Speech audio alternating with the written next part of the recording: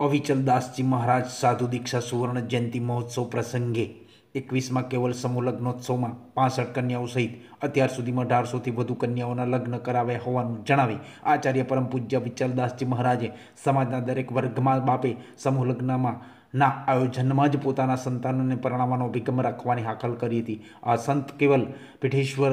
સપ્તમ કુબેરાશ્ચર્ય શ્રી અવિચલદાસજી મહારાજ સાધુ દીક્ષા સુવર્ણ જયંતિ મહોત્સવના ભાગરૂપે યોજાયેલા એકવીસમાં કેવલ સમૂહ લગ્નોત્સવમાં ચાંદીનું મંગળસૂત્ર પાનેતરથી માંડીને ગર્ભખરીની વસ્તુઓ ભેટ અપાઈ છે તથા વરવધુને ચાલીસ ચાલીસ સગા સંબંધીનો ઉતારો તથા જમણવારની વ્યવસ્થા વિનામૂલ્યે પણ કરવામાં આવી હતી. આ સમૂહ લગ્નમાં એક દિનેશભાઈ પટેલના નાઓએ પોતાના જન્મદિવસને લગ્નતિથિની ઉજવણી પણ વિશેષ દાન કરીને કરી હતી. તેમજ ગોવા સરકાર તરફથી લાડલી લક્ષ્મી નામની યોજનામાંથી એક લાખ રૂપિયાનું દાન ધર્મભૂષણ સદગુરુ બ્રહ્મેશેનંદચાર્ય સ્વામીજી, પીઠેશ્વર શ્રી દત્ત પદ્મનાભી પીઠ તપોભૂમિ ગોવા, ગુરુમાતા બ્રહ્મદેવી સ્વામીજી પ્રમુખ સંત ગુરુ ફાઉન્ડેશન ગોવા દ્વારા આપવામાં આવ્યું હતું. આ એકવીસમાં સમૂહ લગ્ન મહોત્સવમાં અનેક વિદેશી દાતાઓની પણ વિશેષ હાજરીની નોંધ લેવામાં આવી હતી. ગુરુ વિચલદાસજી મહારાજે તેમનું પણ સન્માન કર્યું હતું. સાથે સમાજ કલ્યાણ ખાતાના અધિકારીઓ અને પટેલોનું પણ સન્માન તેમજ સરકારશ્રી તરફથી મળેલા વીસ હજારના સર્ટિફિકેટ પણ અર્પણ કરવામાં આવ્યા હતા. આમ પાસઠ કન્યાઓ સહિત અઢારસોથી વધુ કન્યાઓનું લગ્ન કરાવી હોવાનું જણાવ્યું હતું અને આ સમૂહ લગ્નનું આયોજન કરવામાં આવ્યું હતું. જેમાં એકવીસમાં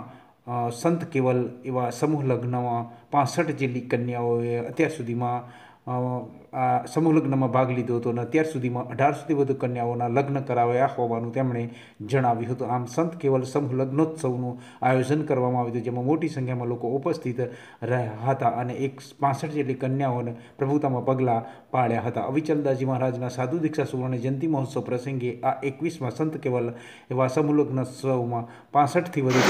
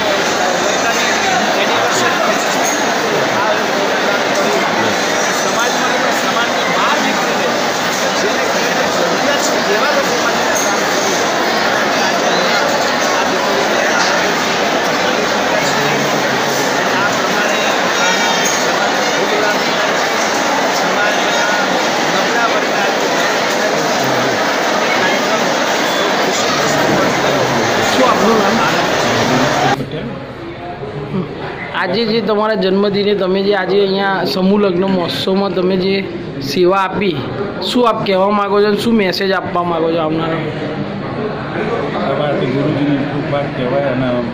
અંતરિયાળ છોકરીઓ બધી જે ગરીબ ગરીબ હોય, એમના માટે મેરેજ ઇઝ બેસ્ટ દાન કહેવાય એમનું. એના માટે એ મારા પચીસમી એનિવર્સરી પણ હતી અને મારી બર્થડે પણ ગુરુજીની કૃપાથી મને એવો સંકલ્પ કર્યો કે કંઈક આપણે કરવું જોઈએ મને આ વસ્તુ સારી લાગી કે ગરીબ છોકરીઓને મેરેજ કરાવ્યા जी आज का क्या क्या कार्यक्रम है सबको मेरा प्रेम पूर्वक जय सच्चिदानंद मैं गुरु माता एडवोकेट ब्राह्मी देवी जी पूज्य अविचल दास जी महाराज जी के कार्यक्रम में आज सरसापुरी में उपस्थित हूँ आज का जो कार्यक्रम है खास करके जो सरसापुर पूरे गुजरात के जो गरीब महिलाएँ हैं उनका विवाह का जो ये महा समारंभ आज पूज्य अविचल दास जी महाराज जी ने जो आयोजन किया है ये उनके सुवर्ण महोत्सव में इतना बड़ा आयोजन देख के एक महिला होने के कारण मेरा अंतकरण बहुत ही भावुक हो गया कि जो संत को आज गाँव में जाके कार्य करना है ये कार्य आज पूज्य अ, गुरुजी गाँव गाँव में जाके कर रहे हैं। हमारे गोवा के सदगुरु ब्रह्मेशानंदाचार्य स्वामी जी जो दत्त पद्मनाभ पीठ के पीठाधीश्वर है ये पूज्य गुरुजी के को इसीलिए प्यार करते हैं कि भारत भर में संत बहुत है। लेकिन जो गाँव गाँव जाके जो समाज को कार्य करने की ज़रूरत है, वो कार्य पूज्य अविचलदास जी महाराज जी आज कर रहे हैं। और अभी पूज्य गुरु जी ने मुझे और सदगुरु जी को जाकर खुद उन शादी में जाकर दिखाया कि किस तरह से जो जिनको ज़रूरत है समाज में उनको एक संत नहीं, एक पिताजी की ज़रूरत होती है। और एक महिलाओं को जब उसकी शादी होती है, उसको